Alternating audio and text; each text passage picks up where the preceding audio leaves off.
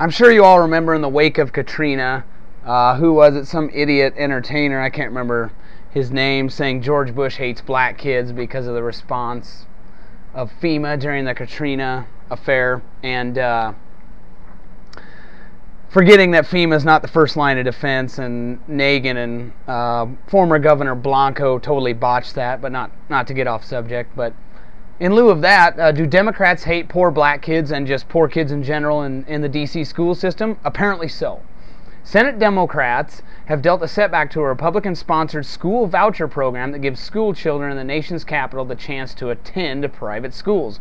And I'll link to another video I did showing uh, that we are spending record levels of money on education. Uh, there's no starving uh, of federal and state and local funding for education. You know, so for the whiners, say, who's going to pay for this? Who's going to pay for these vouchers?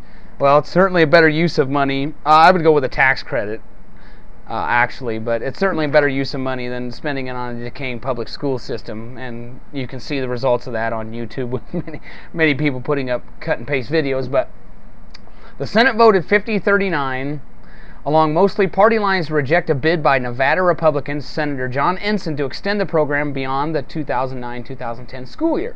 That leaves in place a provision contained in a huge spending bill that requires Congress and the Washington, D.C. government to reapprove the program. Republicans say it, that it is likely to kill it.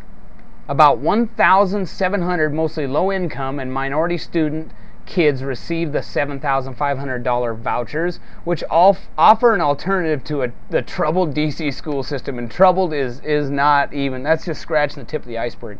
Only three Democrats voted in favor of preserving this program. So I have to ask do Democrats hate poor black and white, Hispanic, whatever children? Do they hate poor children in DC? I guess they do. And I'll have the relevant links off to the on the right side again.